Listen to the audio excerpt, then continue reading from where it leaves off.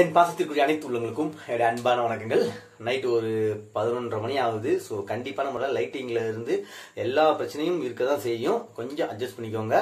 ஏன்னா இது ரொம்ப முக்கியமான பதிவு அப்படிங்கிறனால தான் உங்களுக்கு இந்த வீடியோ அவசர அவசரமாக மேக் பண்ணுறேன் ஏன்னா அமெரிக்காவில் இருக்கக்கூடிய ஒரு மிகப்பெரிய நடிகர் நம்ம எல்லாருக்குமே தெரிஞ்ச ஒரு நடிகர் அப்படின்னு பார்த்தீங்கன்னா டாம் குரூஸ். டாம் குரூஸ் அவர்கள் கிட்டத்தட்ட ஒரு வருஷத்துக்கு முன்னாடி ஒரு படத்துல வந்து கமிட் ஆறாரு. இந்த படம் வந்து முழுக்க முழுக்க விண்வெளியில வச்சு தான் படப்பிடிப்பை நடத்த போறாங்க அப்படிங்கிற ஒரு தகவல் வெளிவந்ததுல இருந்து அமெரிக்கா தான் முதல் முறையா விண்வெளியில வச்சு படப்பிடிப்பை நடத்த போறாங்க. அதாவது அமெரிக்கா நாட்டில் உள்ளவங்க தான் நடத்த போறாங்க அப்படிங்கிற மாதிரி வந்து மிகப்பெரிய ஒரு அதிர்வலை உண்டாயிடுச்சு. இது வந்து அமெரிக்காவுக்கு ஒரு பெருமையாகவும் இருந்துச்சுன்னு சொல்லலாம்.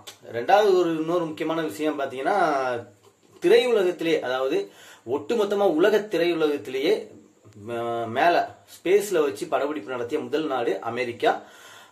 அப்படிங்கிற ஒரு பேர் வந்து கிடைக்க இருந்துச்சு. அதை தட்டிட்டு போயிருக்காங்க நம்ம ரஷ்யாக்காரங்க. ரஷ்யாவை சேர்ந்த திரைத்துறையினர் ஒரு சின்ன கதை தாங்க. விண்வெளியில் இருக்கிற ஒரு விண்வெளி வீரருக்கு உடல்நிலை சரியில்லாமல் போகுது. அவங்களுக்கு இங்கேருந்து ஒரு மருத்துவர் மேலே போய் ட்ரீட்மெண்ட் பார்க்குற போகிறாங்க ஸோ இது வந்து எப்படி நடக்குது அப்படிங்கிறத தான் வந்து படமாக எடுத்து எடுக்க போகிறாங்க கண்டிப்பான முறையில் ஒரு நல்ல கதை களம் அப்படின்னு சொல்லலாம். நல்ல கதையோ இல்லையோ நல்ல கதை களம்னு சொல்லலாம். இதை தத்ரூபமாக படம் பார்க்கறதுக்காண்டி ஸ்ட்ரெயிட்டாக ஸ்பேஸ்லேயே போய் அதாவது விண்வெளியிலேயே போய் விண்வெளி மையம்னு ஒன்று இருக்கு இல்லையா? ஸோ அங்கேயே போய் படப்பிடிப்பை நடத்தலாம்னு முடிவு பண்ணி கிளம்பி போய் ஆல்ரெடி படப்பிடிப்பை ஆரம்பிச்சிட்டாங்க. மாசான ரஷ்ய திரைத்துறையினர் இது மாதிரி எடுத்தது புதிய முயற்சிக்கு மிகப்பெரிய வாழ்த்துக்கள்.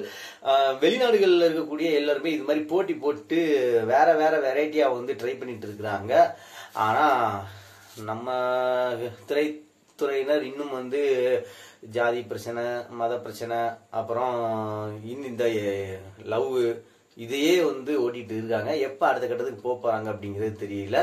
சின்ன சின்ன முயற்சிகள் எடுத்தாலும் அவ்வப்போது தமிழ் சினிமாவில் அதுவுமே வந்து பாத்தீங்கன்னா அப்படியே ஹாலிவுட்டை பார்த்து டப்பிங் அடிக்கிற மாதிரி தான் இருக்கே தவிர புதிய முயற்சியா இல்லை அப்படிங்கிறது தான் வேதனை அடிக்கக்கூடிய ஒரு விஷயம்.